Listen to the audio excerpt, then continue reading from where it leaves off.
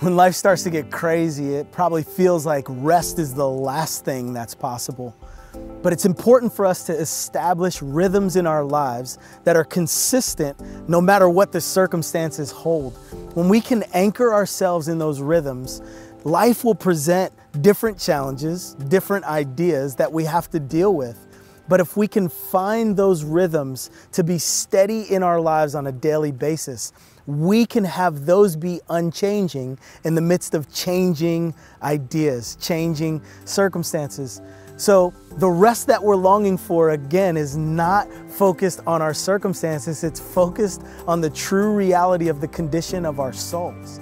And if our souls find root and anchor in who God is, we can look at our circumstances knowing that God is working in ways that we can't see while we're waiting our rest will transcend what's going on around us.